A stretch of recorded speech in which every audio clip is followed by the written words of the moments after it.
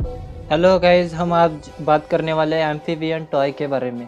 जैसा इसका नाम है एम्फीबियन ये पानी में भी और ज़मीन में भी चल सकती है।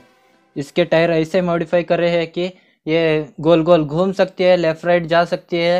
ये पानी में भी लेफ़्ट राइट हो सकती है और ज़मीन में भी लेफ़्ट राइट गोल गोल घूम सकती है। जैसे आप बॉक्स खोलेंगे, उसमें एक रिमोट मिलेगा और ये एम्फीबियन टॉय अगर आपको ये बेहतरीन गैजेट कैसा लगा ये कमेंट करके बताइए और इसे ऑर्डर करने के लिए डिस्क्रिप्शन चेक करें। अगर आपको ऐसे ही वीडियोस देखना है तो हमारे चैनल को सब्सक्राइब करें और इंस्टाग्राम पे फॉलो कीजिए।